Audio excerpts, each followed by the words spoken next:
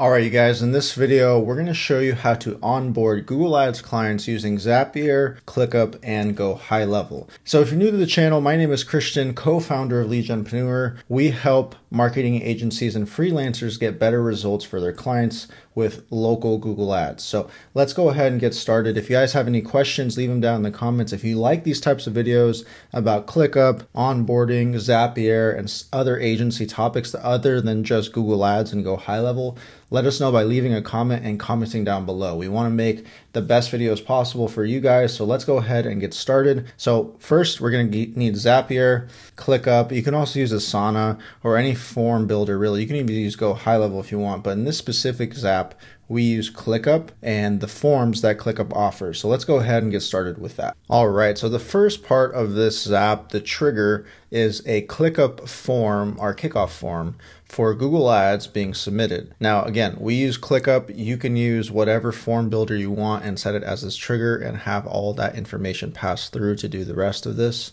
But this is what we use. We use ClickUp for everything in our agency, project management, time tracking, client projects, etc. So our whole team uses it and they all use this form whenever we onboard a new Google Ads client. We also have different forms for our different services like SE, Facebook ads, web design, etc. But in this Zap, it's just this one. All right, so here's a sample kickoff form. It's not the whole thing, but we ask a lot of questions for our clients. And one of our kickoff forms, for example, says what's their client name, right?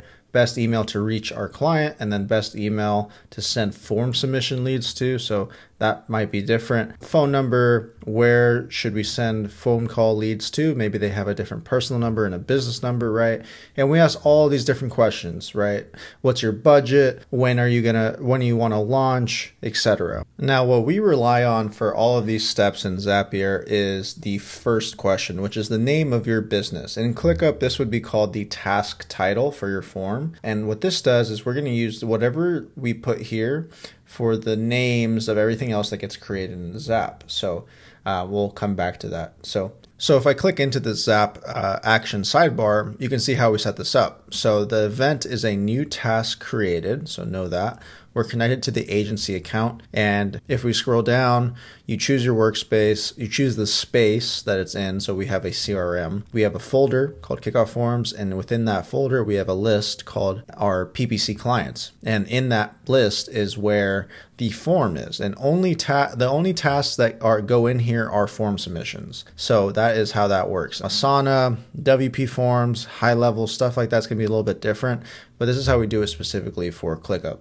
And then whenever we somebody submits that form, it lands inside of this list, and Zapier will pick that up and it'll hold on to that information and then we can set up the rest of this Zap. So let's go back to the next step. So the next step, so the next step is create a folder in Google Drive. Now why why do we do this? Well, I think it's self-explanatory. Any documents, pictures, anything like that for this specific client, well, we're already going to automatically create the folder once they fill out this form. We don't want to manually do anything. We just automatically create it put it in our Google Drive folder, our agency folder. We put it under our client's folder name, and the folder name, the actual folder name, is whatever they put for this first question. So if this is ABC Landscaping, then the name of this Google Drive folder that we're creating is ABC Landscaping. So that's the task name that we pull through. The next thing we do is we create a channel in Slack. Now, for those of you unfamiliar with Slack, which is almost nobody in the agency world, but if you're not familiar with it, it's basically a messaging tool uh, communication tool for your team. So if you're not sure what Slack is, it looks like this. It's basically where we hold all of our client communication that's like quick messages or questions that our team has. We can ask about them in here. So we have Google Ads, Facebook ads, etc. channels. So we always create a new one and we call it again whatever they put as the first question. So ABC landscaping, that's going to be the name of the channel here also. So we automatically create a Google Drive folder for our client. We create a new Slack channel for our client. The next part has to do with Go High Level. Now there's a bunch of ways to integrate Go High Level with Zapier. Really what we do as the event is add slash update contact and we make sure to connect it to the correct sub account. So it's pretty easy to do. A Zapier will walk you through how to do this. So I'm not going to go through that.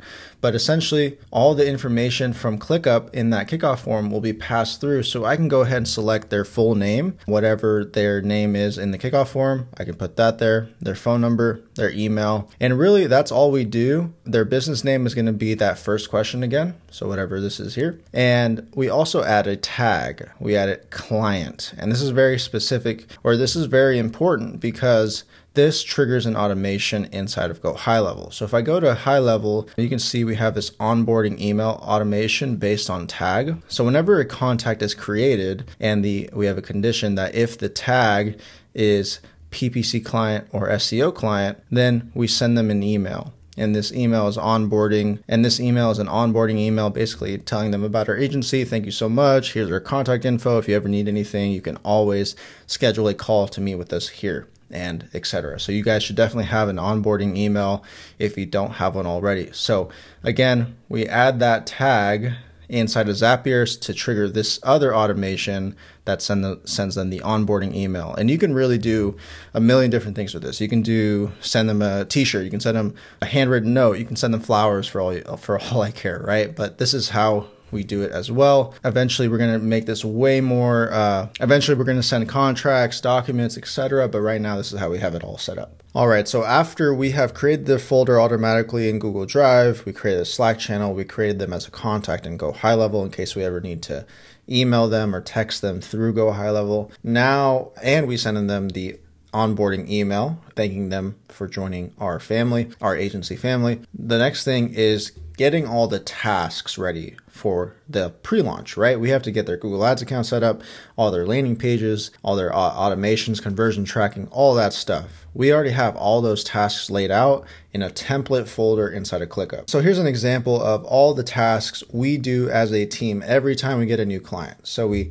set up their sub account, we set up their Google Ads campaign, we do all the conversion tracking, buy their tracking numbers, extensions, privacy policy page, toll-free numbers, kickoff notes, budget, set up a pre launch meeting with the client, launch the campaign, and then all the tasks once they're launched, post launch, right? So all their daily optimizations, quarterlies, etc. So these are all the tasks that we have in a folder in ClickUp. So what's cool in ClickUp is that let's say you have all your tasks built out with all the SOPs already there.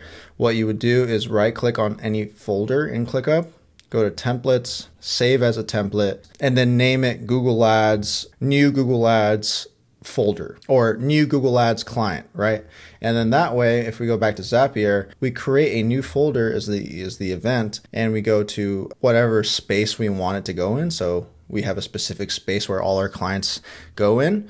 And then it asks if you want to use a template. You select yes, and you choose the one that you just used. And then now, every time again, this whole Zap fires, it's going to create a new folder with the task name, again, whatever this is here, and it's going to duplicate all of those tasks. And then it's your job for your team to go ahead and assign those tasks to whoever the PPC specialist is on the team. And then lastly, you guys, we send a channel message in Slack. We say, hey, we got a new client.